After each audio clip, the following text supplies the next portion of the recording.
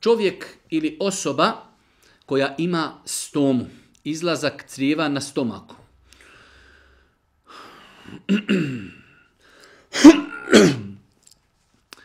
Ne može kontrolisati stolicu niti vjetrove. Pretpostavljam da tako ne mogu ići u džamiju da klanjaju namaz u džematu. Ali postoji mogućnost irigacije crijeva. Crijeva se očiste i te osobe onda nemaju stolice 24 sata. Da li takve osobe mogu ići u džemat? E, nije tačno da čovjek, jer osoba koja ima ugrađenu stomu u islamu se smatra sahibi uzr. Osoba koja jednostavno ima kontinuiran problem i nema smetnje da takve osobe idu u džemat. Nema smetnje da takve osobe idu u džemat.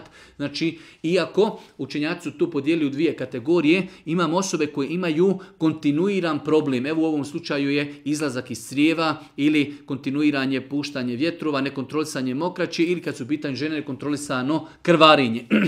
pa kažu islamski učenjaci, ako se radi o osobi koja kontinuirano ima problem, Takva osoba kada, nastup, kada ezan zauči, kada nastupi namasko vrijeme, uzet abdest i može čak ići i u džamiju. Makar u toku e, namaza i desilo se nešto što će pokvariti abdest, ona će klanjati njen namaz je validan.